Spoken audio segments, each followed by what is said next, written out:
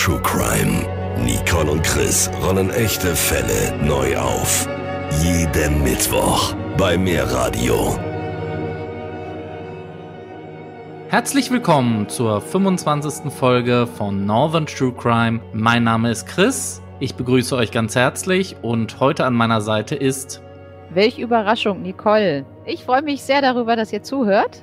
Das erste Mal berichten wir heute über einen Cold Case aus Niedersachsen. Wir haben uns überlegt, dass wir quasi als Einstieg beim Meerradio, dessen Heimat das Steinhuder Meer ist, über einen Fall aus dieser Region berichten möchten. Dieser Fall hat damals nicht nur die Steinhuder Meerregion, sondern ganz Deutschland bewegt. Es ist der 18. Oktober 1996. Ein Landwirt ist gegen 19 Uhr auf dem Mähdrescher unterwegs zum Abernten seines Maisfeldes. Das Feld, um das es geht, befindet sich in Mardorf. Mardorf ist ein Ortsteil von Neustadt am Rügenberge in der Region Hannover in Niedersachsen, direkt am Steinhuder Meer. Durch die Lage am Nordufer und innerhalb des Naturparks Steinhuder Meer ist Mardorf mit seinen ungefähr 1800 Einwohnern ein bekannter Erholungsort. In diesem Maisfeld an der Straße am Pferdeweg findet der Landwirt die Leiche eines Mädchens. Schnell stellt sich heraus, um wen es sich handelt. Denn die 15-jährige Annette Peuß aus Mardorf wird seit drei Wochen vermisst. Zunächst einmal zum Opfer. Annette Peuß ist 15 Jahre alt und Schülerin auf der Realschule. Sie ist 1,58 Meter groß und hat mittelblonde, mittellange Haare. Ihr großes Hobby ist Jazzdance und so ist sie auch an dem Tag vor den Herbstferien am Freitag, den 27. September 1996 gegen 17.35 Uhr auf dem Weg zu einem Jazzdance-Training nach Eilwisse. Das ist ebenfalls ein Ortsteil von Neustadt am Rübenberge und circa 13 Kilometer entfernt von Mardorf. Die Schülerin ist mit einer Freundin verabredet. Annette steht an der Bushaltestelle im Mardorfer Erlenweg und wartet dort auf den Bus. Ihre Freundin will zwei Stationen später in den Bus einsteigen. Doch in diesen Bus steigt die 15-jährige Annette nie ein. Zeugen berichten später, dass die Schülerin an der Haltestelle in einen Pkw gestiegen sein soll. Dabei soll es sich um einen Toyota Carina Liftback mit grün-blauer Lackierung handeln. Dies ist der Zeitpunkt, an dem Annette zuletzt lebend gesehen wurde. Die 15-Jährige wird am darauffolgenden Tag, den 28. September, bei der Polizei als vermisst gemeldet. Kurze Zeit später suchen Polizeikräfte, Hubschrauber und Suchhunde sowie Feuerwehrkräfte aus der ganzen Umgebung den Ortsteil Mardorf und die umliegenden Waldgebiete ab. Die Polizei sucht außerdem nach Zeugen, die etwas beobachtet haben. Die Presse berichtet in ganz Deutschland über den vermissten Fall, aber alles vergeblich. Der Aufenthaltsort der Schülerin kann nicht in Erfahrung gebracht werden. Der Polizei liegen zwar etliche Meldungen vor, aber wie so häufig stellt sich hinterher heraus, dass es sich bei dem gesehenen Mädchen doch nicht um Annette handelte und die tatverdächtigen Personen nichts mit der Sache zu tun hatten. Der Busfahrer erinnert sich, dass er Annette an der gegenüberliegenden Haltestelle hat stehen sehen. Als er am Endpunkt Weiße Düne umdrehte und zurück zur Haltestelle fuhr, wartete Annette dort nicht mehr. Ein anderer Zeuge beobachtete, dass Annette in ein Auto stieg. Sie habe sich mit dem Fahrer durch das Beifahrerfenster unterhalten. Die Polizei geht davon aus, dass sie den Fahrer kannte, wenn auch nur flüchtig. Vielleicht aus dem Kiosk am Steinhuder Meer, an dem sie nebenbei jobbte. Aber an genaueres konnte sich der Zeuge nicht erinnern. Er wurde sogar später mit seinem Einverständnis unter Hypnose gesetzt, um nähere Details herauszufinden, aber dies gelang nicht. Etwa drei Wochen später dann die grausame Gewissheit. Annette ist Opfer eines Gewaltverbrechens geworden. Das Maisfeld liegt nur etwa einen Kilometer von der Bushaltestelle Erlenweg entfernt. Der Leichnam ist unbekleidet, die Kleidung liegt, bis auf die Socken, verstreut am Fundort. Es können DNA-Spuren sichergestellt werden, die vom Täter stammen dürften. Sowohl am Leichnam als auch im Knoten der Kordel einer Jogginghose befinden sich identische DNA-Spuren. Ein Sexualdelikt wird nicht ausgeschlossen, sondern sogar angenommen. Annette wurde vermutlich vergewaltigt. Es wird von der Polizei sofort eine Mordkommission mit zehn Beamten eingerichtet. Die Obduktion ergibt, dass die Schülerin am Tag ihres Verschwindens durch Erdrosseln, also Gewalteinwirkung gegen den Hals, verstarb. Tatwerkzeug war die Kordel einer Jogginghose. Diese Schnur ist ein Ermittlungsansatz, mit dem die Mordkommission Preuß hofft, den Täter fassen zu können. Die Recherchen reichen bis zu den Firmen namhafter Sportartikelhersteller. Auch die Kordelspur führt allerdings ins Leere, denn die Jogginghose wird in der Türkei hergestellt und ist ein Massenprodukt. Die DNA-Spuren werden in die bundesweite DNA-Datenbank eingegeben. Die Ermittler der Mordkommission überprüfen in den folgenden Jahren etwa 7000 Spuren. Unter anderem führen sie ein halbes Jahr später einen der ersten Massenspeicheltests durch. Ein ganzes Dorf genauer gesagt alle männlichen Bewohner von Mardorf zwischen 14 und 50 Jahren, werden zum Gentest gebeten. Die halbe Einwohnerschaft unter Generalverdacht gestellt. Eine Ermittlungsmethode, die es in dieser Form bis dahin noch nicht gegeben hatte. Aber der Abgleich der circa 4500 Speichelproben ergibt keine Übereinstimmung mit den gefundenen Spuren. Die Mardorfer erhalten allerdings die Gewissheit, dass der Täter nicht aus ihren Reihen stammt. Sieben Jahre sind seit dem Sexualmord vergangen. Der Fall ist noch nicht zu den Akten gelegt, berichtet der Leiter des Fachkommissariats 1 beim Zentralen Kriminaldienst in Garbsen. Beim Zentralen Kriminaldienst wird im Februar 2003 eine neue Mordkommission eingerichtet, die sich nochmals mit dem Mord an Annette befasst. In enger Zusammenarbeit mit den Spezialisten von LKA und BKA wird eine operative Fallanalyse hierzu erarbeitet die neue Ermittlungsansätze bringen soll. Moment mal, Chris. Operative Fallanalyse? Was versteht man genau darunter?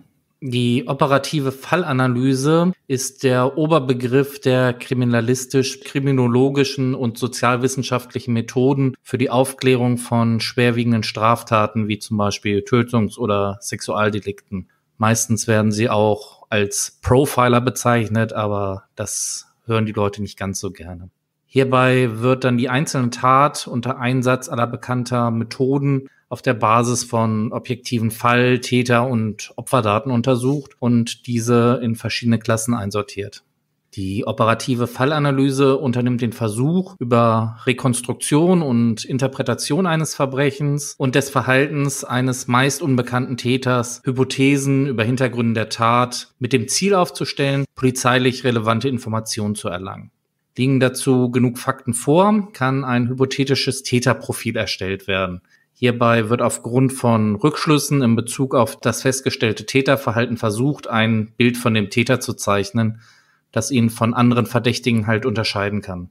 Dadurch können dann Ermittlungen effizienter gestaltet werden, da nach speziellen Tätern dann halt gesucht wird. Die Täterprofilerstellung ist im Vergleich zu einer Tathergangsanalyse ein eher ungewisser Teil der Fallanalyse. Es können hier nur Wahrscheinlichkeitsaussagen dann getroffen werden. Das so ganz kurz mal zur operativen Fallanalyse. Ja, dann wissen wir da auch mal Bescheid. Danke. Anknüpfend an den Massenspeicheltest im Jahr 1997 setzt die Mordkommission im November mit der Abnahme von Speichelproben bei Männern an, die zum damaligen Zeitpunkt auch zum Umfeld des Mordopfers gehörten. Zum Beispiel handelt es sich um Väter und Brüder ehemaliger Mitschüler und Mitschülerinnen oder auch Bekannte aus der Jazzdance-Gruppe. Für diese Speichelproben kommen Männer in Frage, die zum Zeitpunkt des Mordes bereits 18 Jahre oder älter waren. Die betreffenden Männer wurden angeschrieben, sie sollen jetzt auf freiwilliger Basis eine Speichelprobe bei der Polizei abgeben. Es handelt sich um Unverdächtige, betont die Mordkommission.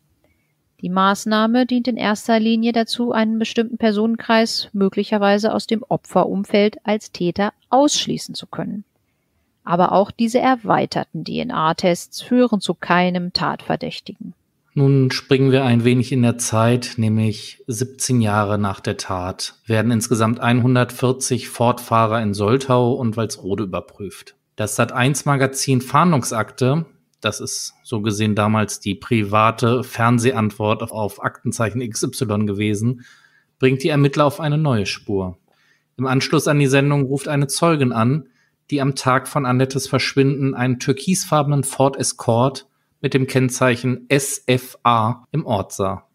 SFA stand seinerzeit für den niedersächsischen Landkreis Soltau-Fallingbostel. Dieser wurde 2011 dann in Heidekreis umbenannt. Er liegt fast komplett in der Lüneburger Heide, also grenzt nördlich dann an die Steinhuder Meerregion an. Bisher ist die Polizei von einem Toyota ausgegangen und kontrollierte damals nur die Besitzer von einem Toyota.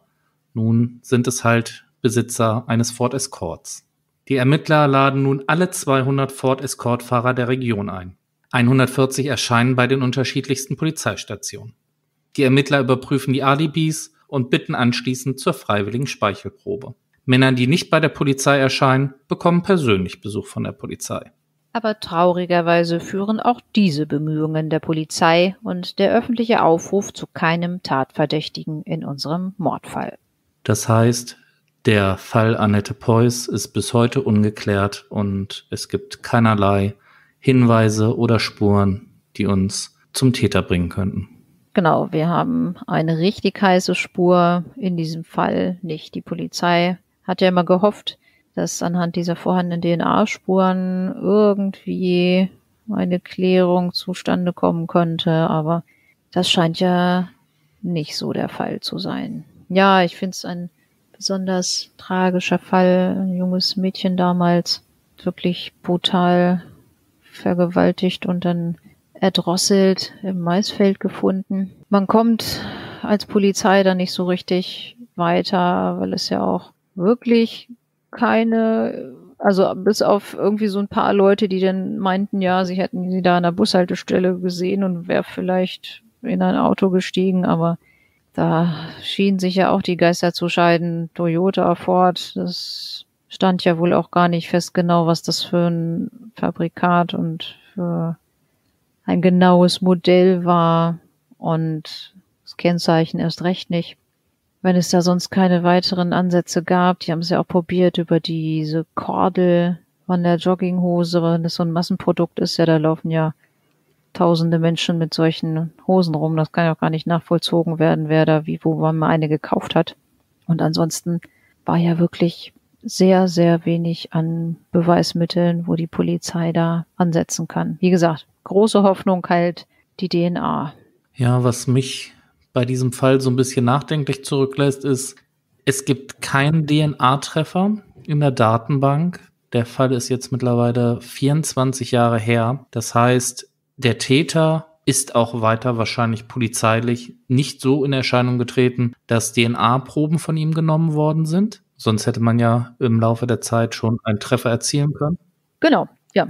Ja, die hätten, die hätte sich ja denn dann in der, in der DNA-Datenbank befunden dann. Ja, und was man natürlich auch an dieser Stelle noch sagen muss, wie gesagt, der Fall ist 24 Jahre her. Es kann natürlich auch gut sein, dass unser Täter mittlerweile schon gar nicht mehr lebt. Ja, davon äh, kann man mittlerweile ja auch schon mal ausgehen. Wenn man überlegt, er ist vielleicht damals, ich sag mal, 50 gewesen, dann ist er jetzt Mitte 70 und. Ja, was ich an dem Fall halt so grausam finde, ist, dass die Eltern des Mädchens überhaupt gar nicht mehr über all die Jahre erfahren haben, was mit ihrem Kind genau nun passiert ist.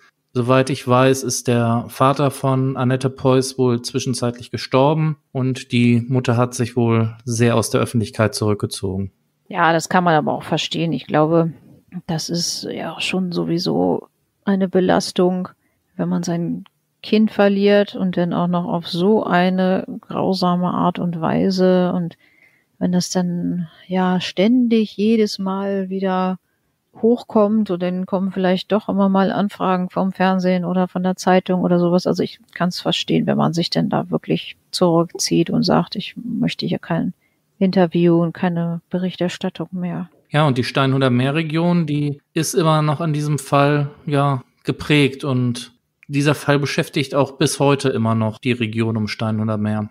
Ja, aber es ist schwierig jetzt auch. Also ich, ich bin ja auch nicht so ganz großer Cold Case Fan. Du hattest mir ja auch schon mal diese Hinter Kaifeck Cold Case Serie da wärmstens empfohlen. da gab's ja wilde Theorien, was da nun wer, wer das gewesen sein könnte und und und. Aber in diesem Fall ist ja wirklich auch echt so ein bisschen das Traurige, da gibt's ja auch keine richtigen Tatverdächtigen, keine wirklich heiße Spur. Also es ist wirklich im wahrsten Sinne des Wortes ein Cold Case. Und ja, was man halt sieht, dass so Cold Cases halt wirklich dazu geeignet sind, die ganzen Hobby-Kriminologen aus dem Internet zu versammeln, die dann alle möglichen wilden bis abstrusen Theorien sich ausdenken. Und ich weiß nicht, ob das für solche Fälle immer förderlich ist Ich finde aber, es war wichtig, dass wir diesen Fall hier nochmal vorstellen und halt auch wirklich an solche Fälle, die halt auch nicht aufgeklärt sind, vielleicht nochmal in Erinnerung rufen, auch nach so langer Zeit, weil vielleicht irgendjemand da draußen, der unseren Podcast hört, erinnert er sich, doch vielleicht was gesehen zu haben. Ja, ausschließen kann man es nicht. Wäre natürlich wirklich schön, wenn doch mal der eine oder andere Fall geklärt wird, auch durch solche Sendungen wie Aktenzeichen XY oder hier dieses Fahndungsakte-Magazin. Das, das gibt's schon nicht mehr. Das gibt's schon gar nicht mehr. Ich gucke das ja eh nicht, weil ich das immer so gruselig finde. Ja, das wurde nach einem Jahr eingestellt. Das gab's, glaube nur 96 und dann fehlte der Erfolg. Das Problem ist ja bei den Privatsendern, die brauchen immer ihre Einschaltquoten und naja, wenn es schon so ein gutes Format beim ZDF mit Aktenzeichen XY gibt, da hatten die nicht so viel Erfolg mit.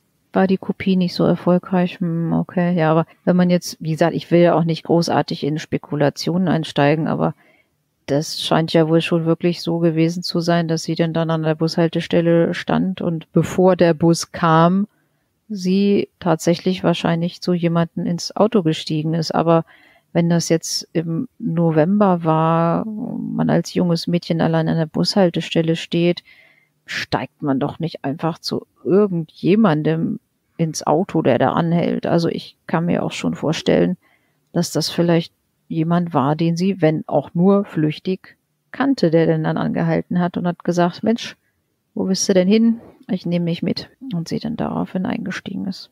Wir werden zu unserem Fall natürlich auch nochmal ein Bild von Annette Preuß auf unserem Instagram-Kanal hochladen, falls ihr das Bild halt erkennt und sagt, Mensch, ich habe damals vor 24 Jahren dieses Mädchen gesehen, meldet euch bitte bei der Polizei, ruft die Polizei an, wenn ihr vielleicht noch irgendwas zu diesem Fall sagen könnt. Das wäre sehr hilfreich. Gut, Nicole, möchtest du zu unserem Cold Case noch etwas sagen oder meinst du, wir haben unseren Hörern alles vermittelt? Nee, ich glaube, wir haben jetzt erstmal alles berichtet. Mir fällt nichts mehr ein. Ja, nach diesem Cold Case haben wir jetzt noch einen weiteren Fall für euch vorbereitet. Nicole, worum geht es in diesem Fall? Wir werden euch gleich zu Anfang jetzt mal sagen, worum es geht. Und zwar um einen Mord. Ist jetzt keine besonders grausame Sache, aber es werden auch einzelne Details geschildert. Falls ihr das nicht hören wollt, könnt ihr vielleicht den Anfang überspringen, so die ersten paar Minuten und dann wird's spannend. Erzähl uns doch mal, wo es hingeht, Chris. Das kann ich gerne machen. Für unseren heutigen Fall geht es in die Landeshauptstadt von Schleswig-Holstein, nämlich nach Kiel. Kiel ist eine wunderschöne Stadt an der Kieler Förde. Sie ist die bevölkerungsreichste Stadt im ganzen Bundesland und hat knapp 250.000 Einwohner. Wir gehen in den 24. Januar 2006 in die Herzstraße 41 im Kieler Stadtteil Dietrichsdorf. In der Wohnung der BWL-Studentin Viktoria W. lässt die Polizei die Tür durch einen Schlüsseldienst öffnen und findet Viktoria. Sie liegt halb zugedeckt in ihrem Bett. Sie ist blutüberströmt und hat einen eingeschlagenen Schädel. Die Polizei kann leider nur noch den Tod feststellen. Viktoria wurde nur 21 Jahre alt. Klaus-Dieter W. ist der Vater von Viktoria. Er ist ein sehr wohlhabender und erfolgreicher Unternehmer. Er lebt in Niedersachsen in der Nähe des Harzes. Am 20. Januar hatte er das letzte Mal Kontakt zu seiner Tochter, zu der er ein sehr gutes und inniges Verhältnis pflegte. Deshalb wundert er sich, dass er die folgenden Tage nichts von ihr hört und meldet sich schließlich am 24. Januar 2006 als vermisst. Er erklärt den Beamten, wo ein Zweitschlüssel für die Wohnung seiner Tochter zu finden sei, nämlich in der Reserveradmulde des VW Lupus von Victoria. Den Schlüssel für das Auto findet man unter der linken hinteren Radkappe versteckt. Der kleine Plastikschlüssel, den Volkswagen-Kunden als Ersatz mitgeliefert bekommen, wurde zwar unter der Radkappe gefunden, der Wohnungsschlüssel lag jedoch nicht im Auto. Den Polizisten kommt der Eindruck, als sei der Kofferraum auch ordentlich durchwühlt worden. Und so wird der herbeigerufene Schlüsseldienst die Tür öffnen. Nach dem Fund der Leiche beginnt die Spurensuche. Allerdings können weder Spuren eines Einbruchs noch eines Kampfes gefunden werden. Auch DNA-Spuren oder Fingerabdrücke können nicht festgestellt werden. Bei der Obduktion wird aber festgestellt, dass die junge Frau bereits in der Nacht zum 21. Januar 2006 getötet wurde. Victoria W. starb durch elf wuchtige Hiebe, die ihren Kopf zertrümmerten und ihre Luftröhre abrissen.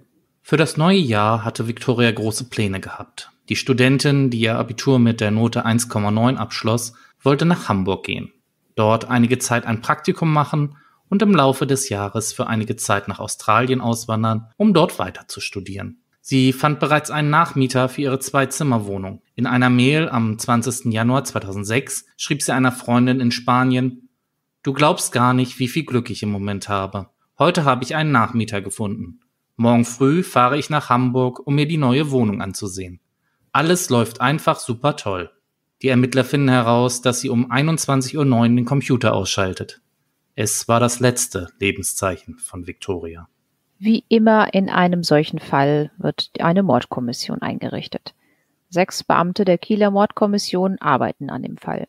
Hauptverdächtiger ist zunächst der Nachbar der Studentin. Monatelang wird in diese Richtung ermittelt.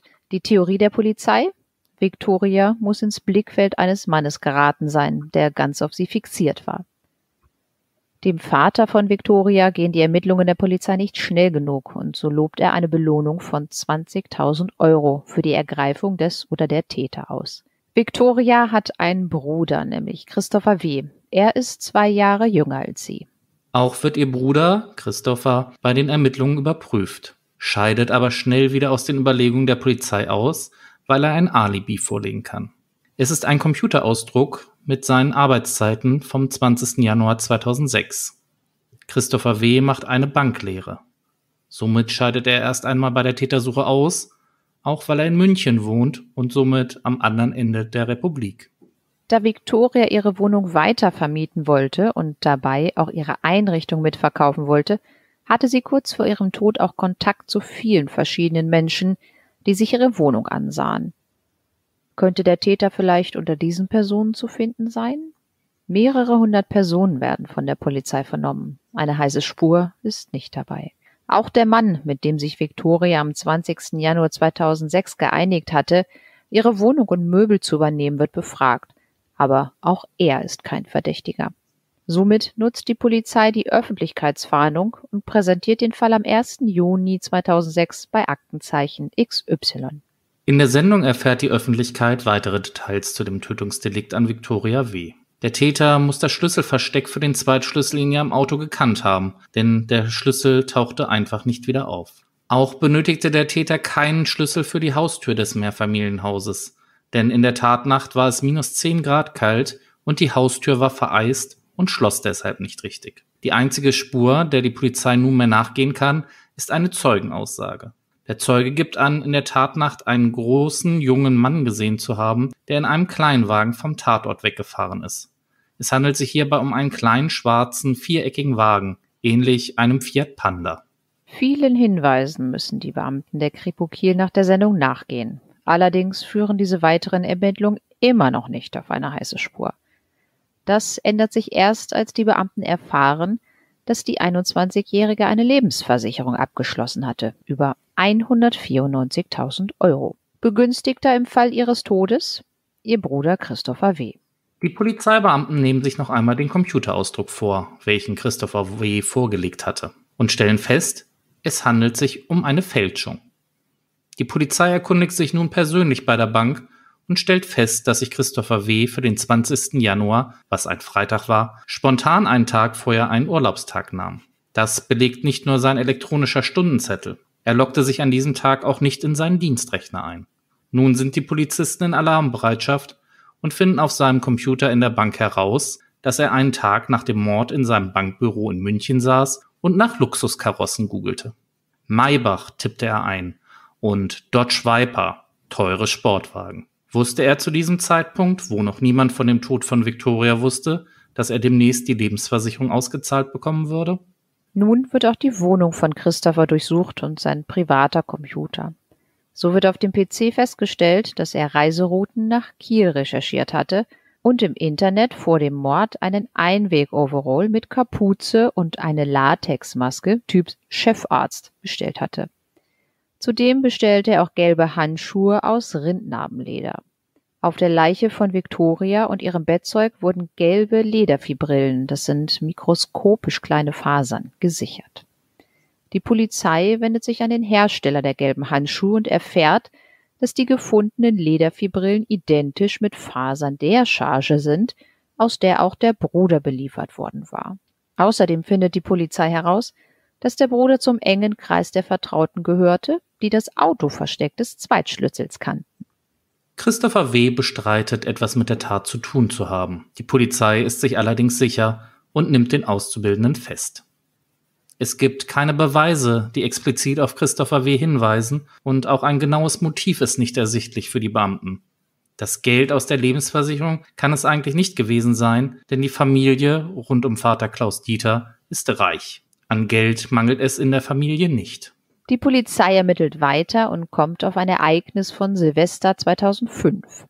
Drei Wochen bevor Viktoria W. starb, gab es einen sehr großen Konflikt zwischen den Geschwistern. Klaus-Dieter, Viktoria und Christopher trafen sich im Haus des Vaters im Harz. Viktoria fragte, ob sie ein paar Aktenordner wegen des künftigen Umzugs im Kinderzimmer ihres Bruders abstellen könnte. Doch Christopher blaffte seine Schwester an, das will ich nicht. Die Geschwister stritten sich so heftig, dass Klaus-Dieter W., wie er bei der Kripo zu Protokoll gab, das Gefühl hatte, dazwischen gehen zu müssen.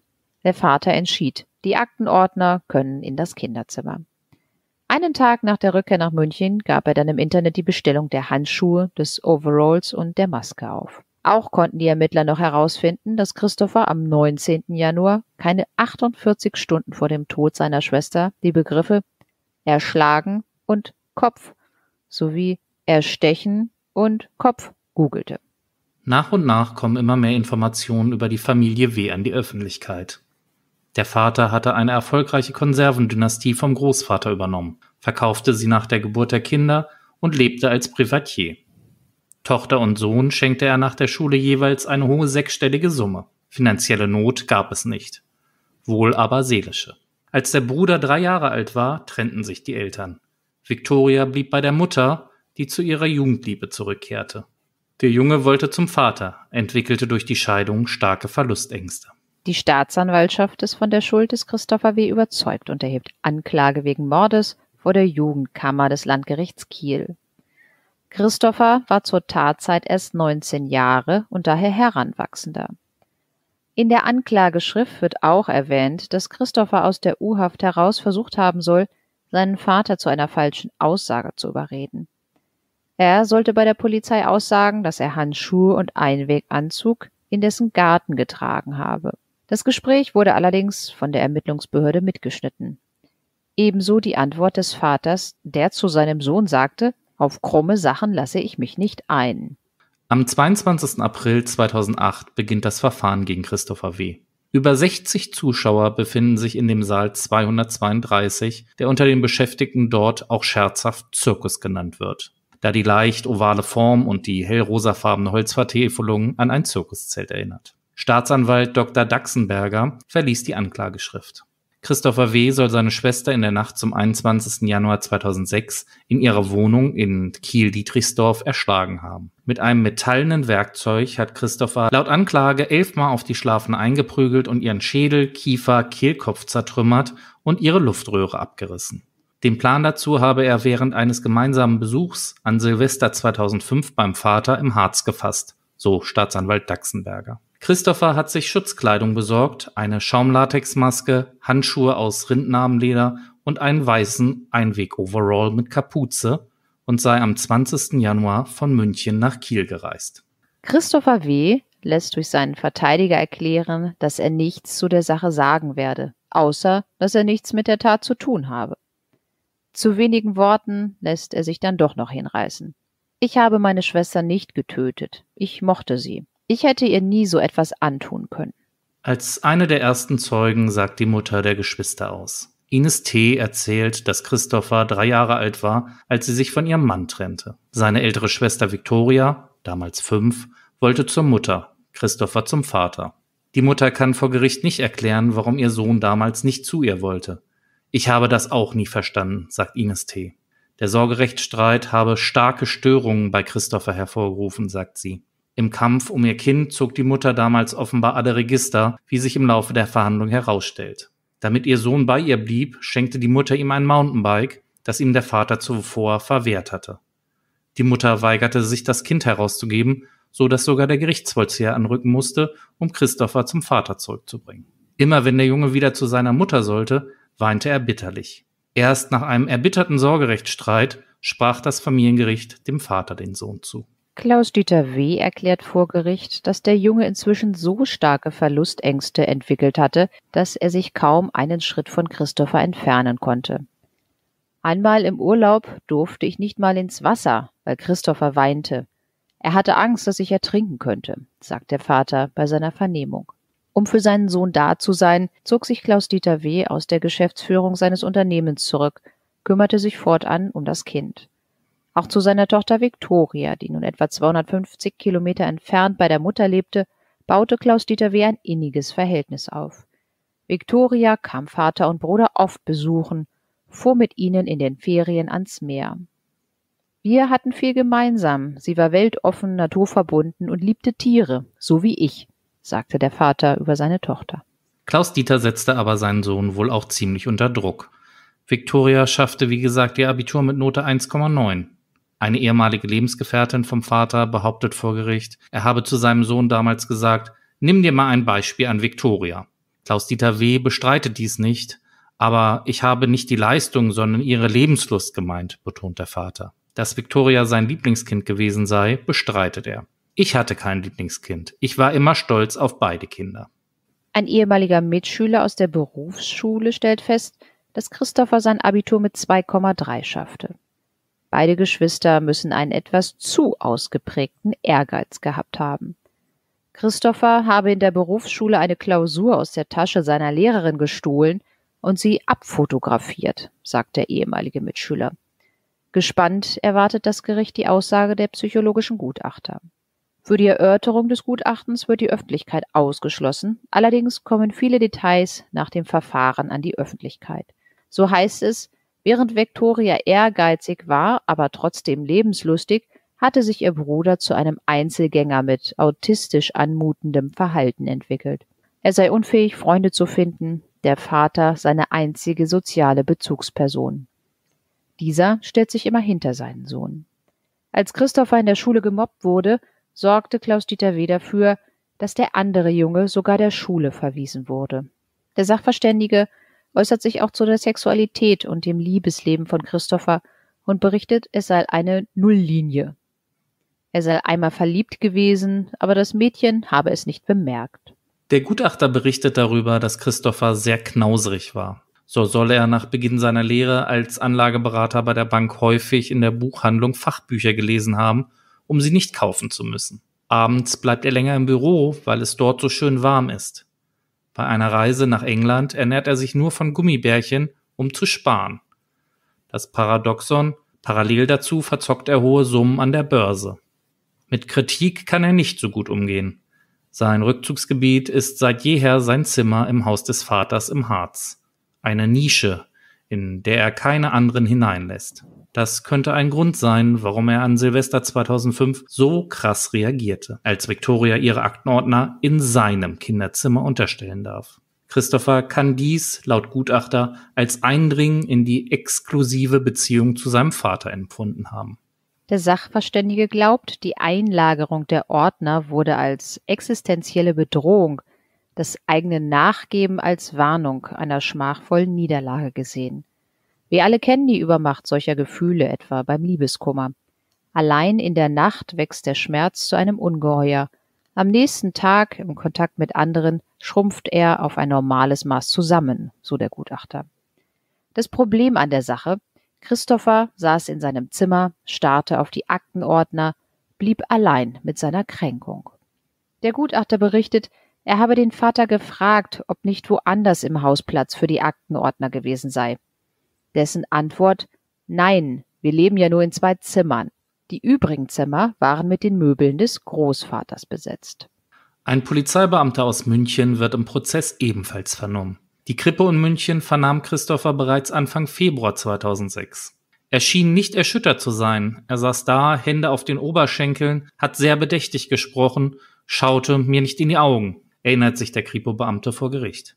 Der Beamte schöpft Verdacht und ruft seine Kollegen in Kiel an. Riet ihnen Victorias Bruder einmal genauer unter die Lupe zu nehmen. Doch die Kollegen hätten ihn abgewimmelt, behauptet der Beamte vor Gericht. Ihr Bruder stand nicht unter Verdacht, weil er ein wasserdichtes Alibi zu haben schien, was sich dann erst Monate später als Fälschung entpuppte. Auch sagt eine Sekretärin der Bank vor Gericht aus. Sie berichtet, dass Christopher W. sie versuchte zu überreden, ihm ein falsches Alibi auszustellen. Er hat mich gefragt, ob ich nicht der Polizei sagen könne, dass er am 20. Januar doch im Büro gewesen sei, erinnert sich die Zeugin vor Gericht.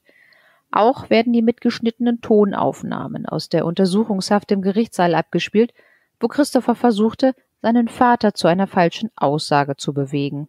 Es ist ein reiner Indizienprozess. Es gibt keine DNA-Spuren oder Fingerabdrücke. Allerdings sieht die Staatsanwaltschaft eine zusammenhängende Indizienkette und in Christopher W. den Täter. Nach dem Ende der Beweisaufnahme plädiert Staatsanwalt Dr. Daxenberger. Das Plädoyer dauert fast zwei Stunden und der Staatsanwalt setzt dabei Stück für Stück die Indizien zusammen. Er spricht über die Suchanfragen im Internet und das gefälschte Alibi. Auch über die auf Leiche und Bettzeug sichergestellten Lederviehbrillen, die aus der gleichen Charge stammen wie die Handschuhe, die Christopher W. im Internet bestellt hatte. Christopher W. hört dem Staatsanwalt gefühllos zu und starrt dabei nur geradeaus in den Raum hinein. Der Staatsanwalt glaubt nicht, dass Christopher die hohe Lebensversicherung an der Börse verspielen wollte und daher aus Habgier gemordet hat. Er ist eher der Meinung, dass der Bruder aus tiefem Hass auf seine Schwester diese getötet habe. Das Abstellen der Aktenordner in seinem alten Kinderzimmer sei für ihn ein Menetheke gewesen, dass die Schwester ihn endgültig vertreiben würde. Staatsanwalt Dr. Daxenberger stützt sich dabei auf das psychiatrische Gutachten, das Christopher W. attestiert hat, völlig auf den Vater fixiert zu sein. Der Vater sei für ihn offenbar die einzige soziale Bezugsperson gewesen. Mit dem Wunsch seiner Schwester, sich in dem Kinderzimmer auszubreiten, sei augenscheinlich ein altes Trauma aufgebrochen, die Angst, den geliebten Vater zu verlieren. Mit Rücksicht auf die Anzeichen einer Persönlichkeitsstörung und die Entwicklungsdefizite, die der Psychiater bei Christopher W. festgestellt hat, fordert der Staatsanwalt den Angeklagten nach Jugendstrafrecht zu neun Jahren Jugendstrafe wegen Mordes zu verurteilen. Wir erinnern uns, hatten wir ja schon mal in einem anderen Verfahren darüber gesprochen, im Jugendstrafrecht ist die Höchststrafe zehn Jahre Jugendstrafe. Der Verteidiger von Christopher W. toppt noch einmal die Plädierzeit von Staatsanwalt Dr. Daxenberger und versucht in dreieinhalb Stunden die Beweiskraft der Indizien zu widerlegen. Eine Zeitung beschreibt das so. Er redete viel und sagt wenig, wiederholt das Plädoyer des Staatsanwalts, ohne die Indizien jedoch zu erschüttern. Am Ende fordert er für seinen Mandanten einen Freispruch. In seinem letzten Wort sagt Christopher W., ich habe Victoria nicht getötet. Ich hatte keinen Grund dazu. Ich mochte sie, ich konnte ihr nie im Leben so etwas antun.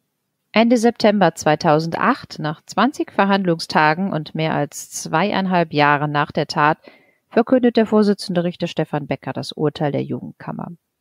Christopher W. ist des Mordes an seiner Schwester schuldig und wird zu einer Jugendstrafe von acht Jahren verurteilt. Beweise konnten bei dem Prozess nicht vorgelegt werden. Dem Gericht reicht aber die bedrückende Indizienkette. Das Gericht sieht es als erwiesen an, dass der mittlerweile 22-Jährige seine zwei Jahre ältere Schwester zwischen dem Mittag des 20. Januar und dem 21. Januar 2006 mit mindestens elf Schlägen auf Kopf und Hals im Schlaf tötete. Richter Becker stellt fest, dass die Kammer davon überzeugt ist, dass Christopher W. nach Kiel reiste und verschaffte sich dort am Morgen des 21. Januar mit dem Zweitschlüssel, welcher er aus dem Versteck von Victorias Auto nahm, Zutritt zur Wohnung. Dort zog er sich die Schutzkleidung über und trat ans Bett der Schwester. Vielleicht ist sie wach geworden, sagt Becker mit Blick auf die Aussagen eines Nachbars, der einen Streit vernommen haben will, der mit einem dumpfen Geräusch geendet haben soll. Ob Hass das Tatmotiv ist, wissen wir nicht, sagt Becker. Auch werden die Internetsuche und die Bestellung der Gegenstände in der Urteilsbegründung erwähnt. Bis heute habe sich Christopher W. nicht zum Verbleib dieser Gegenstände geäußert, so Becker. Die gesuchten Stichworte erschlagen, Methode Kopf entsprechen den vorgefundenen Verletzungen bei der Tat, so Becker. Auch die gesuchten Bahnverbindungen und Autorouten nach Kiel auf bahn.de und map.22 seien ein wichtiges Indiz.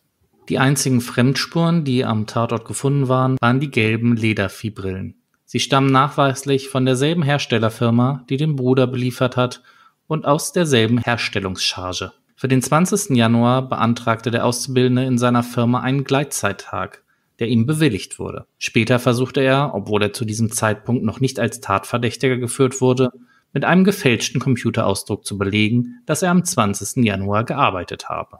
Die zum Teil sehr naive Vorbereitung der Tat zeige erhebliche Reiferückstände, die auch ein psychiatrischer Gutachter bescheinigte. Die Strafe sei wegen der planvollen Vorbereitung und der vollen Schuldfähigkeit jedoch angemessen. So kommt Becker dann zum Ende der Urteilsbegründung. Klaus-Dieter W., der Vater von Täter und Opfer, sitzt bei der Urteilsverkündung im Zuschauerraum. Ob gegen das Urteil Revision eingelegt worden ist und diese verworfen wurde oder ob kein Rechtsmittel eingelegt worden ist, konnten wir leider an dieser Stelle nicht herausfinden. Fakt ist aber, dass das Urteil rechtskräftig geworden ist. Zum Schluss bleibt festzustellen, dass Klaus-Dieter W. eine 20.000 Euro Belohnung auf die Ergreifung seines eigenen Sohnes ausgesetzt hatte. Im Jahr 2016 hatte Christopher W. seine Jugendstrafe verbüßt und wurde entlassen. Ja, Nicole, jetzt sind wir am Ende dieses Falles. Was sagst du denn dazu? Ja, das ist auch so eine Sache, die finde ich jetzt so mega krass, dass der Bruder seine Schwester umbringt und ja, die ganze Familie da so involviert ist, sage ich jetzt mal so, dass der Vater denn dann auch im Nachhinein rausgekriegt hat, dieser Streit, der da an Silvester war, hat wahrscheinlich den Ausschlag gegeben, dass mein Sohn meine Tochter umgebracht hat. Ich finde es einen sehr tragischen Fall. Für mich, also ich kann verstehen, dass die Kammer da jetzt so geurteilt hat. Ich habe da jetzt auch, ja klar, so, so richtige handfeste Beweise gibt's da ja nun nicht, aber diese, wie die Kammer gesagt hat, Indizienkette, also das spricht ja nun wirklich schon sehr, sehr viel dafür. Ich hatte zwischendurch auch immer noch mal gedacht, die hätten vielleicht irgendwie mal rausbekommen, wie er denn von München nach Kiel gekommen ist. Man das hätte irgendwie anhand von, weiß ich nicht, Bahnfahrkarten oder Auto, Navi, Daten hätte feststellen können, aber das Thema ist ja auch gewesen, dass die Polizei lange Zeit in eine andere Richtung ermittelt hat. Und da hatte er natürlich auch schon mal ordentlich Zeit, da einige Spuren zu verwischen. Genau. Und hätte die Polizei vielleicht damals schon kurz nach der Tat auf die ja, Anregung der Kollegen aus München reagiert, wäre vielleicht noch einiges an Beweismitteln sichergestellt worden. Ja, gut, er hatte ja erstmal so ein Alibi, dass man denn dann sagt, ja, er hat dann Stundenzettel und außerdem wohnt er ja in München, ist ein bisschen weit weg von Kiel, mal eben so vorbeizufahren. Aber ich meine, so ein Zettel, wie man sieht, ist ja nun auch wirklich mal schnell ausgedruckt. Ne? Also wenn sich die Polizei da vielleicht einfach nur noch mal durch einen durch einen Anruf bei der Bank versichert hätte, so hier stimmen denn eure Zettel nun wirklich? Der hat uns da was vorgelegt und vor allen Dingen hat er denen das ja auch vorgelegt. Die Polizei hat das ja nicht selber bei der Bank angefordert und ja, das war wahrscheinlich schon mal, naja, ich sag mal nicht ein großer Fehler, aber hätte, hätte von Anfang an viel Arbeit erspart und die ganze Geschichte mit Aktenzeichen XY und sowas. Ja, da gebe ich dir wirklich recht. Aber gut, Fehler passieren. Ja, ja, ist, ist äh, na, hinterher ist man immer schlauer, ne? Richtig. Aber ich finde diesen ganzen Fall, als ich den recherchiert habe, ich fand den wirklich krass, weil, wenn man mal überlegt, es wurde ein Menschenleben ausgelöscht für zwölf Aktenordner. Das steht in gar keinem Verhältnis. Und auch diese, ja, wahrscheinlich krankhafte Störung, die ja der Psychiater festgestellt hat, durch ein Kindheitstrauma oder ähnliches, hat wahrscheinlich wirklich dazu geführt, dass diese Tat passiert ist. Ja, ich denke auch, diese zwölf Aktenordner waren ja jetzt noch nicht der Grund für diesen Mord. Das ist irgendwie, steht, steht da symbolisch für ja, ich weiß nicht, die, die Eifersucht des Bruders der Schwester gegenüber oder was da genau an psychischen Störungen vorliegt. Haben wir jetzt hier auch so gar nicht richtig rausbekommen. Aber da scheint ja einiges im Argen gewesen zu sein, wenn er dann auch gesagt hat, er, der Bruder hatte keine richtigen sozialen Kontakte, der Vater wäre der Einzige gewesen. Das ist in dem Alter ja auch nicht unbedingt normal. Nee, absolut nicht. Vor allem, da hätte man doch mal mit dem Kind irgendwie zum Psychologen oder so gehen müssen. Vor allem, der Vater stellt ja sogar selber im Prozess dann fest, ja, dass er irgendwie extreme Verlustängste haben musste, weil wenn er noch nicht mal alleine schwimmen gehen konnte, weil das Kind damals Angst hat, dass er ertrinkt, dass man da vielleicht mal wirklich zu einem Psychologen geht oder mal irgendwie was macht. Ja, das hätte vielleicht einiges erspart in diesem Fall, ja. Ich finde es auch sehr, sehr tragisch, diesen, diesen Fall, dass die Victoria da sterben musste. Kommen wir mal zu Victoria. Ein lebenslustiges junges Mädchen, was ja auf dem Weg zu ihrem Studiumabschluss stand. Sie musste irgendwie nur noch ein paar wenige Prüfungen ableisten, bevor sie dann nach Hamburg gehen wollte, um dort ein Praktikum zu machen. Ja, sie schrieb ja sogar in dieser E-Mail an die Bekannte in Spanien, dass bei ihr momentan alles so super läuft und dann passiert so eine Tat. Das ist unglaublich, wie schnell auch das Leben sich ändern kann.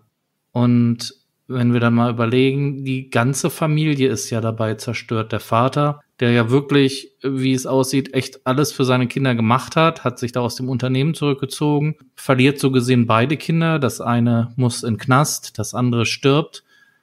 Also tragisch, wirklich tragisch.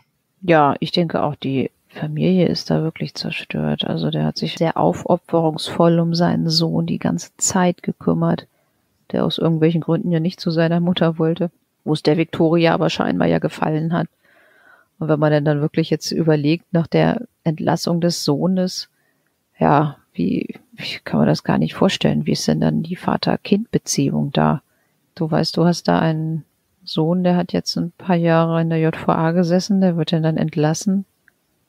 Und ja, das ist derjenige, der deine Tochter umgebracht hat, aber irgendwo ist es ja trotzdem noch dein Sohn, um den du dich, um den du dich so lange Zeit gekümmert hast, ne?